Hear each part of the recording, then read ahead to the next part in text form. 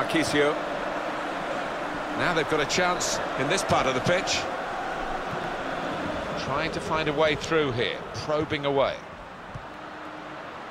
They've got a great understanding, this team. Just look at the passing. This could be. And now the shot!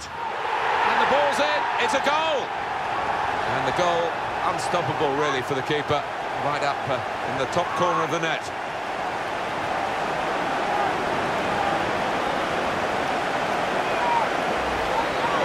Goalkeeper in the eyes and said, right, I've got the win here, and he's got the goal to show that. I love that kind of finish when you don't have to blast it as long as the placement is right.